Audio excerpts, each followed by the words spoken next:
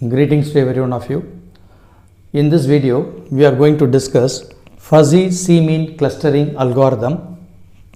This is a popular unsupervised machine learning algorithm.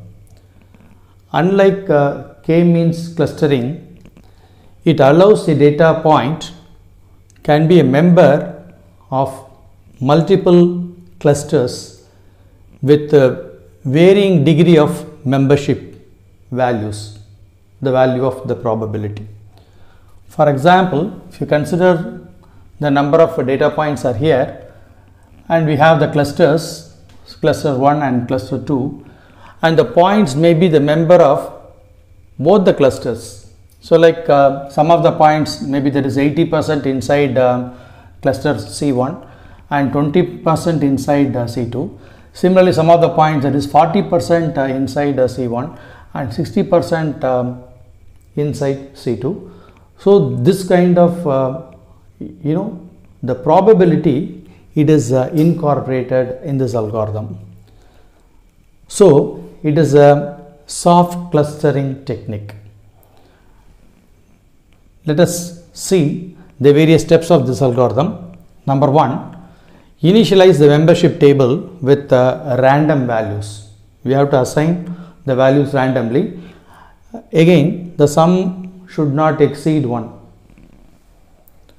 Step 2, calculate the centroids using the formula Vij is equal to summation of k is equal to 1 to n mu ik to the power m into xk divided by summation k is equal to 1 to n mu ik.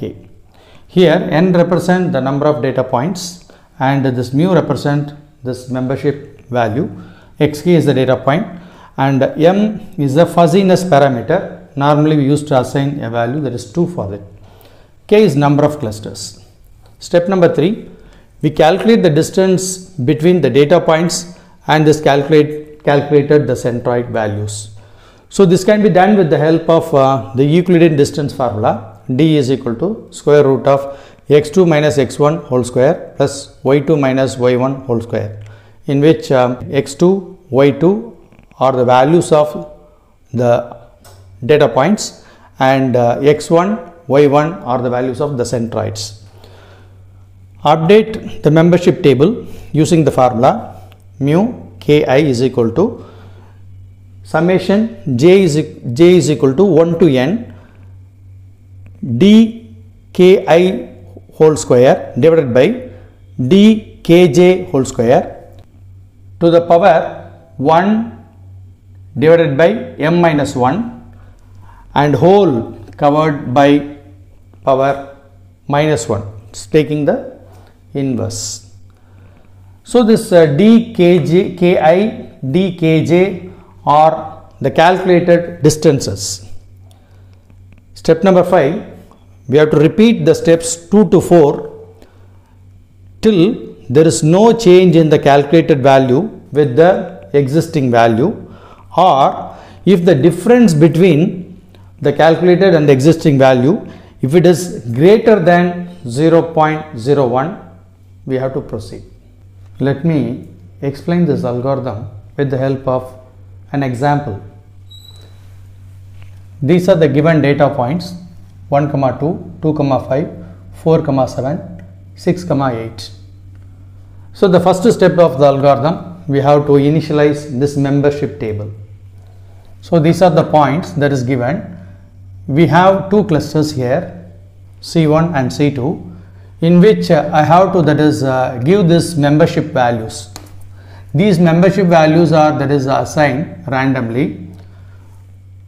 We have to keep one thing in our mind that whenever we are assigning this value the summation of the value should not exceed 1 0.7 0.3 if you add these two you will get 1 so in such a way we have assigned the values. This is 0.6 0.4 0.1 0.9 0.2 0.8 step number 2 calculate the centroids. The centroids can be calculated with the help of this formula this formula already have seen. So just substitute the values in the formula. So this 0.7 it is nothing but the value of the membership value that is mu value.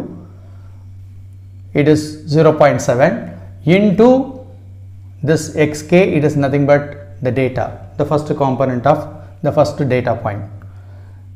Okay? Similarly 0.62 0.6 to the power 2 it is nothing but this particular member member membership function.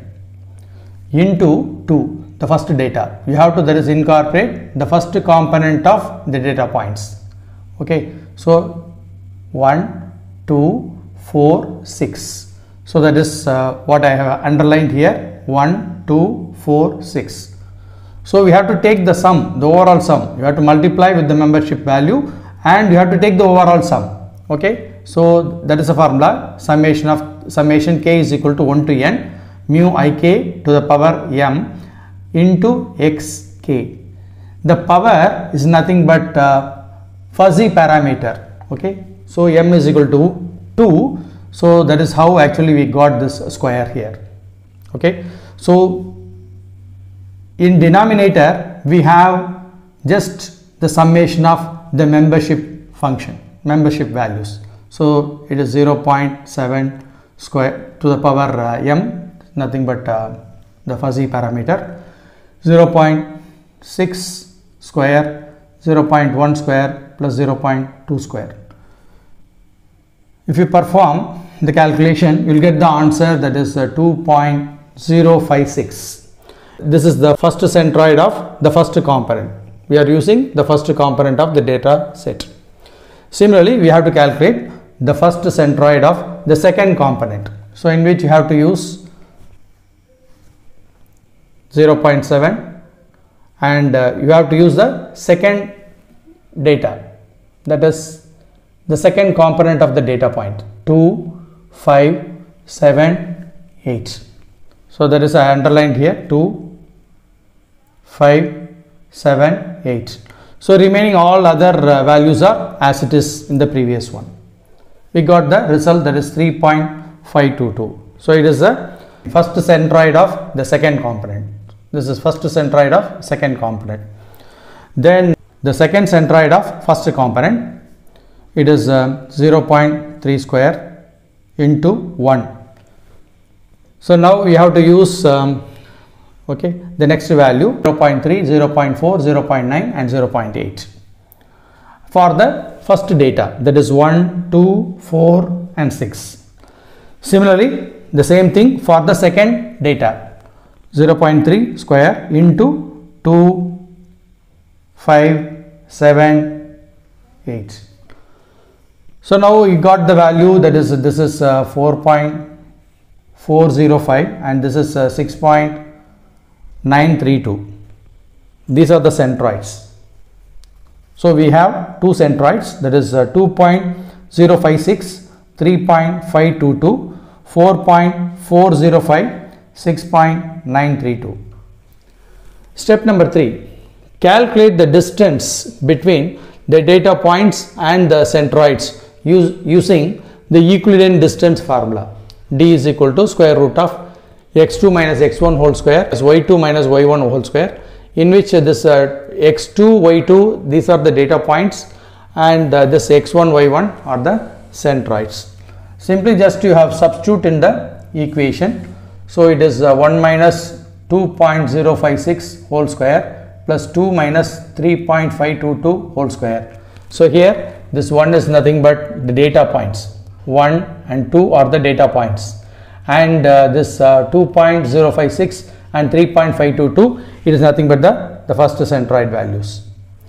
Okay. Similarly we have to that is uh, do it for the second centroid value 4.405 6.932 for the same data points 1 and 2 okay so similarly we can do it for uh, other data points that is uh, 2 5 4 7 and 6 8 we got the results final values. If you compare these values if you compare these two values this is the smaller one. So that means this particular point that is 1 comma 2 it belongs to cluster 1 similarly here the point 2 comma 5 in which if you compare these two this particular value 1.21 it is uh, lesser. So again this 2 comma 5 it belongs to cluster 1 similarly the 0.47 in which if you compare these two 0.41 which is the smaller one so that means the point belongs to cluster C2 similarly 68 the, the point belongs to the cluster C2 comparatively it is the minimum value. The next step of this algorithm is update uh, membership table. So that can be done with the help of um, this formula mu ki is equal to summation j is equal to 1 to n. The distance k i square divided by distance kj square to the power whole 1 by m minus 1 and the entire thing should be that is uh, powered by minus 1 so that is uh, inverse so initially the membership function that is uh, for uh, 1 1 so in which you have to consider the distance that is 1 1 Similarly, divided by d11, d11 divided by d12. You substitute the values from this uh, distance table.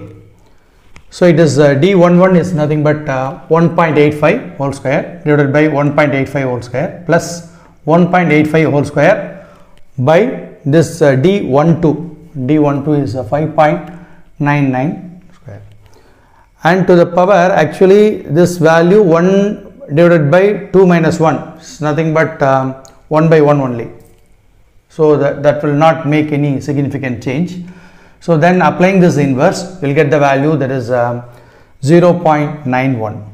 Similarly for um, the membership value that is 1 2 for which this is a formula see that is uh, D12 consider the value that is D12 D12 divided by D11 then d12 divided by d12 so it is uh, 5.99 whole square divided by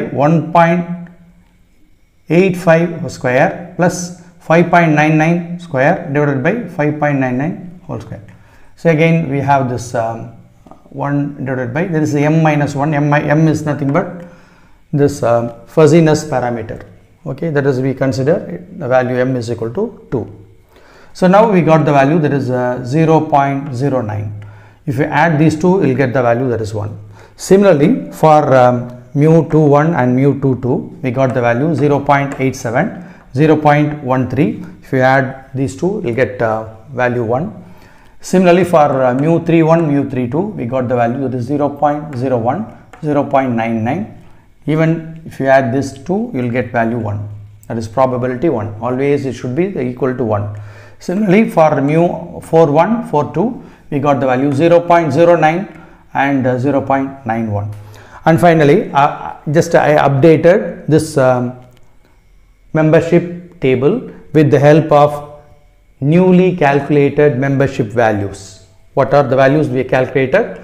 Just those values are uh, that is entered here 0.87, 0.13, 0.11, 1, um, 01, 0.99, 0.09, 0.91.